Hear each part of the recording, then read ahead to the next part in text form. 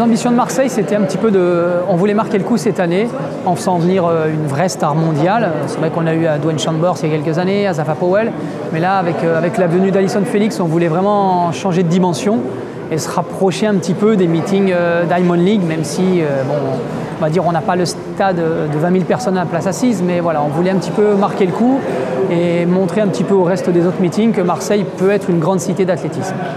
On a encore des difficultés à montrer aux Marseillais qu'il y, a, du beau spectacle en athlétisme, qu'il y a un club, euh, bah, parce que Sainte-Marguerite cette année monte en, élite, en élite interclub division 1, donc parmi les 8 meilleurs clubs français. Donc c'est vrai qu'il y, a de quoi faire de l'athlétisme à Marseille. Et l'idée c'était vraiment qu'avec la venue d'Alison Félix, le, Marseillais lambda soit interpellé et se dise euh, bon, je l'ai vu à la télé, je l'ai vu aux Jeux Olympiques, euh, j'ai envie de l'avoir dans un stade d'athlétisme. Le rêve, ce serait une piste d'athlétisme dans le stade Vélodrome, autour du terrain de foot, pour pouvoir nous permettre euh, à Marseille et à nous, organisateurs, d'organiser une étape de la Diamond League comme à Paris et à Monaco.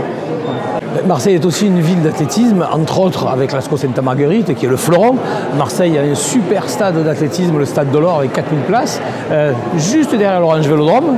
Euh, Marseille a des courses fantastiques, le Marseille Cassis, entre autres, le Run in Marseille également, et puis la Marseillaise des femmes, bref, j'en passe et des meilleurs. On a à la fois de la course sur route, on a de la piste, on a un grand cross, le cross de Marseille, qui se fait chaque année.